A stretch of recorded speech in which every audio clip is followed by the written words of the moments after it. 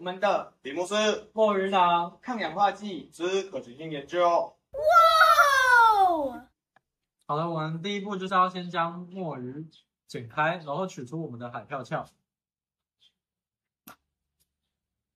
取出海票鞘之后呢，就可以看到我们的墨囊。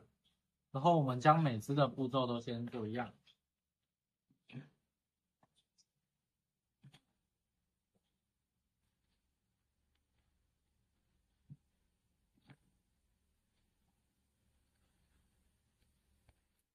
取出我们墨囊之后呢，把它倒装入我们的三角锥形瓶里面。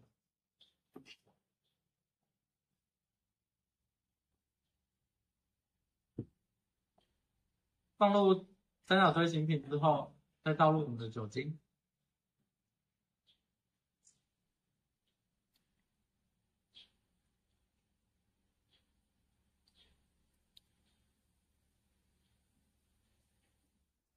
我们静置三十六小时之后，将我们的墨鱼囊混合液从冰箱取出。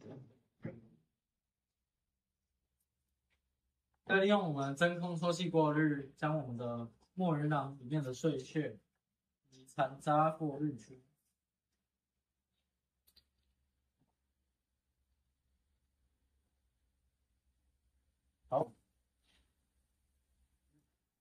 我们用真空减压浓缩机将 A 组进行蒸馏，得出 B 组跟 C 组。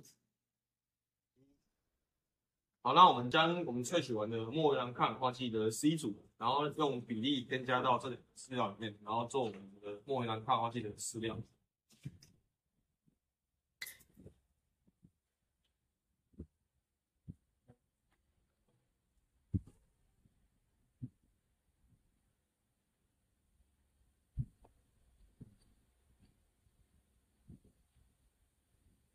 好的，我们将我们墨鱼抗氧化剂添加入饲料烘干之后，我们取出我们的饲料，依照我们鱼体的体重下去做喂食。